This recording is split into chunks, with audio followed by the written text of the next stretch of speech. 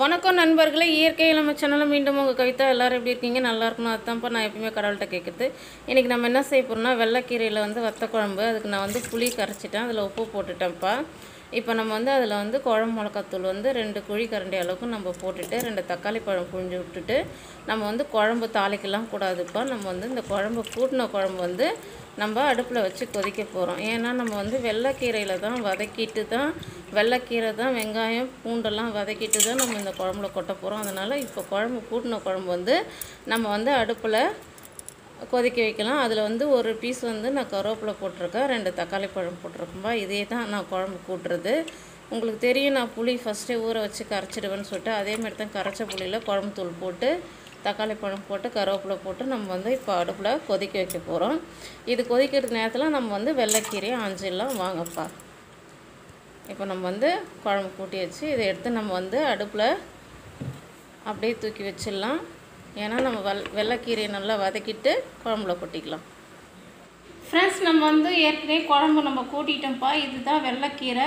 நம்ம வந்து வெள்ளைக்கீரை குழம்பு தான் இன்றைக்கி வைக்க போகிறோம் சாரிப்பா இது நான் வந்து நான் நேற்று வாங்கிட்டு வந்தேன். வந்து பாருங்களேன் அதோட பூ பாருங்களேன் எவ்வளோ பூ காயெல்லாம் பாருங்களேன். ஏன்னா நான் நேற்று வாங்கிட்டு வந்தேன். நான் ஃப்ரிட்ஜில் வைக்க மாட்டேன். வெளியில் தான் வைப்பேன் கீரைனா நேற்று எனக்கு செய்யறதுக்கு டைம் இல்லைப்பா அதனால தான் நம்ம இன்றைக்கி செய்ய போகிறோம் இதுதான்ப்பா வெள்ளைக்கீரை. நம்ம இன்றைக்கி அதை தான் வத்த குழம்பு வைக்க போகிறோம் இன்றைக்கி நான் வந்து இந்த கீரையை ஆஞ்சிக்கிறேன். பாருங்கள் இதுதான் வெள்ளைக்கீரை. இப்போ இதுதான் நம்ம வந்து வத்த குழம்பு. ஏற்கனவே நம்ம வந்து குழம்பு வந்து அடுப்பில் கொச்சிட்டு இருக்குது இப்போ நம்ம கீரை ஆஞ்சின்னு போயிடலாம். வாங்க. ஃப்ரெண்ட்ஸ் நம்ம வெள்ளைக்கீரையை வந்து க்ளீன் பண்ணி கழுவிட்டோம். இப்போ வானலில் வந்து ஒரு குழிக்காரண்டி அளவு கடலை எண்ணெய் அதில் வந்து வடவும் போட்டாச்சு. இப்போ வடவும் பொறிஞ்சிடுச்சுப்பா இப்போ வந்து நம்ம என்ன செய்ய போகிறோம்னா அரிஞ்சு வச்சுருக்கிற சின்ன வெங்காயமும் ஒரு பூண்டு நாலு சின்ன வெங்காயம் ஒரு பூண்டு ஃபுல்லாகவே வச்சுட்டோம்ப்பா இப்போ நம்ம வந்து கீரையை போட்டு அதில் நல்லா வதக்கிக்கலாம். கீரை நல்லா எண்ணெயில் வதங்கின பிறகு நம்ம வந்து கொதிக்க வச்சுக்கிற குழம்புல நம்ம அதை போட்டுடலாம்ப்பா. பாருங்கள் நல்லா வதக்கிட்டேன். ஏன்னா நம்ம ஒரு கொத்து தான் கருவேப்பிலை போட்டோம். கீரை தான் நல்லா வதங்கணும். வதங்கி கீரை தான் நம்ம குழம்புல நிறையா தெரியணுமே தவிர கருவேப்பிலை கொத்தமல்லியெல்லாம் இல்லைப்பா வாசனைக்கோசம் தான் ஒரு பீஸ் போட்டேன் நான். நம்மளுடைய கீரை வந்து கடலை எண்ணெயெல்லாம் நல்லா வதங்கிட்டுருக்கு இப்போ நம்ம கீரை நல்லா வதங்கிடுச்சு. இப்போ நம்ம வந்து கொதிக்க வச்சு வச்சுருக்குறோம் இல்லைங்களா? அந்த குழம்புல ஊற்றிடலாம் ஊற்றிட்டு நம்ம வந்து இதை அடுப்பில் எடுத்து கொதிக்க விடலாம்.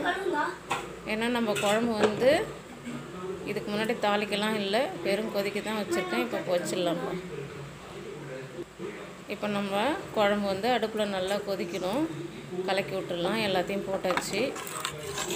பாருங்கள் ஏடு படிஞ்சிருக்கு. அதனால தான் நான் ஃபஸ்ட்டே ஆஃப் பண்ணிட்டேன். இப்போ தாளித்து ஊற்றியாச்சு இப்போ நம்ம குழம்பு நல்லா கொதிக்குது.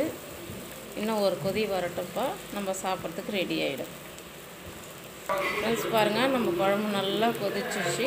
வாங்க நம்ம இப்போ சாப்பிட்லாம். ஃப்ரெண்ட்ஸ் ஒரு ஒரு வாட்டி நீங்கள் இந்த மாதிரி வெள்ளைக்கீரையில் வந்து வெந்தய குழம்பு வெந்தயம் போட்டு தாளித்து வெந்தய குழம்பு வைக்கலாம். இல்லை வந்து ஜீரகம் தாளித்து வைக்கலாம் வடம் தாளிக்கணும்னு இல்லை கடுகு தாளிக்கணும்னு கிடையாது. எது வேணாலும் தாளிக்கலாம். ஒரு முறை இதுமாரி வெள்ளைக்கீரையில் சாப்பிட்டு பார்த்து எப்படி இருந்துன்னு எனக்கு கமெண்ட்ஸ் பண்ணுங்கள் லைக் பண்ணுங்கள் ஷேர் பண்ணுங்கள் முக்கியமாக என் சேனலை சப்ஸ்கிரைப் பண்ணுங்கள் வீடியோ பார்த்தது தேங்க்யூ